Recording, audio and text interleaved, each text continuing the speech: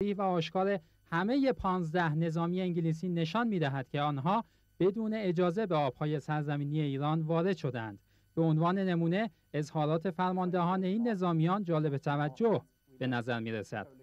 بسم الله الرحمن الرحیم در روز جمعه سوم فروردین ماه 1386 مطابق با 23 مارس الموافق 23 مارس 2007 قاربين بريطانيين انتهك المجال المائي الإيراني وفي وبالتالي فإن هؤلاء الأفراد قد احتجزوا في هذه النقطة واعتقلوا هناك وبعد قراءة المعلومات الموجودة على جهاز الجي بي اس الذي صادرنا منهم.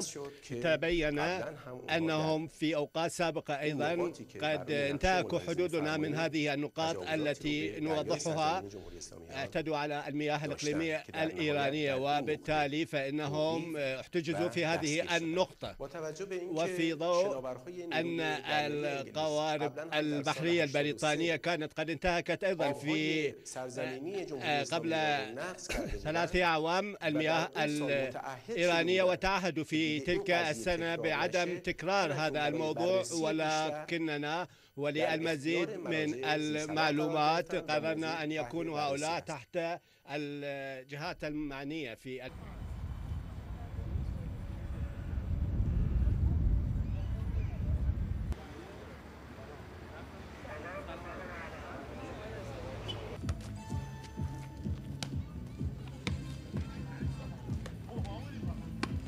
ولی چون اینا غیر قانونی وارد آبهای کشور شدن طبق قانون بین‌المللی باید محاکمه بشن.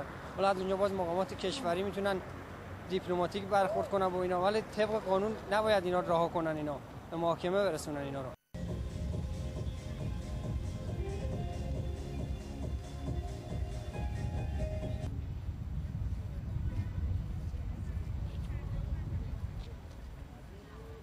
و خلیج فارس در حقیقت محلی نیست که جولانگاه هر نوع مانوری باشه و این اول قدرت ها فکر بکنن که در هر لحظه ای می‌تونن هر کاری دلشون بخواد بکنن.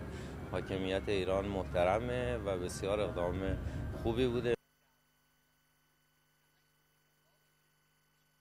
I believe that our prime minister or our president should invite uh, some dignitaries from London, sit in a nice place, have a cup of coffee, and discuss it over. And if they want to take any advantages, this is the best time.